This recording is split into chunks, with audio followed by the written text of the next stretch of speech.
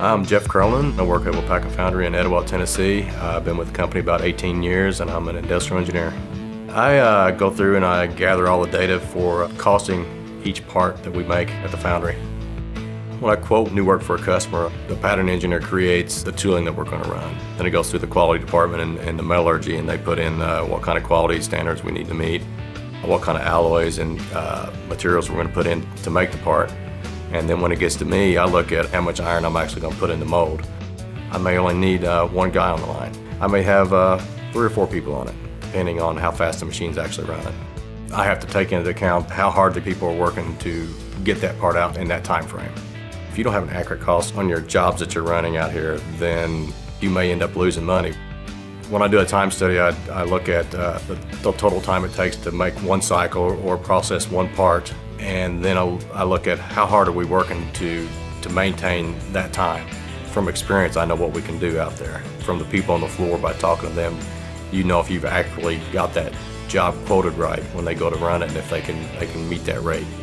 When I do a time study, I take the video and then I review it in the, in the office so that I can rewind and replay different parts of it to uh, see exactly what they're doing and did I miss something when I was on the floor looking at it and it also, for quality wise, that, that kind of helps the new people says, oh, that's what you meant by doing this task. Back in 96, I uh, was looking for a job that was closer to home. the Waupaca Foundry was coming to town and I interviewed and I was one of the first employees at the Tell City, Indiana plant. Uh, hired in at the core room as a production guy. Quickly moved up to the service department and basically run the night shift and then uh, moved to the quality department. And then the opportunity came up to open a new plant in Etowah, Tennessee. Come down and look at the area. Uh, my wife and I love the area, the school system. And I transferred down here as a uh, core room QC.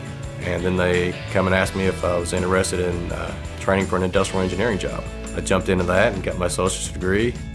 After you've been here a year, when you want to go move up in the company, there is opportunities to work and go to school. If it applies to something that we have here at the foundry, uh, Waupaca does have tuition reimbursement that will pay for your education. I'm continuing right now to go ahead and get a four-year degree in manufacturing technology.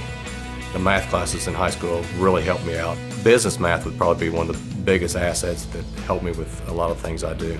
I took drafting classes also. Those classes they offer in high school, before you get to college, it actually helps you get started in some jobs and maybe move up a little quicker. AutoCAD and uh, some beginning engineering classes help too with everything else that I do, it's uh, the interaction with the people as far as finding out the problems on jobs. Because if they're not making money on a job, they're going to let you know what's wrong with it. When you work hard, the people on the floor and the department heads, they see that. So the opportunity's there to move up in the company.